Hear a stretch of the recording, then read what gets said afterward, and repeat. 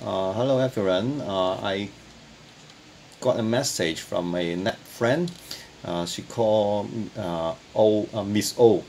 Uh, she asked me my strumming pattern, and I told her that I'm a, I'm new to ukulele. So actually, I don't have any particular strumming pattern. I just play the song and I feel it, and and I call it my freestyle, just like that.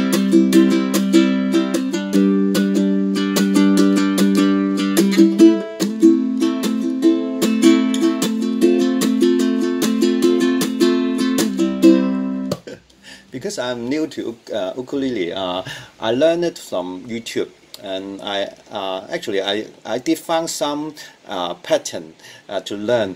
Uh, something like up down up up up down up down down up down down, but I feel confused when I try to play the music and, and I try to play the song. So. Um, when uh, after uh, a little bit practice of the strumming, I just forget all about this uh, what the up down thing, down up thing. I just play what the feeling. When the feeling come, uh, I, I just just uh, move my, my finger because I'm new to this uh, instrument.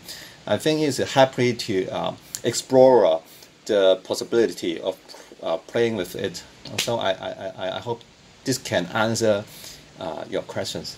Thank you. Bye bye. Happy day.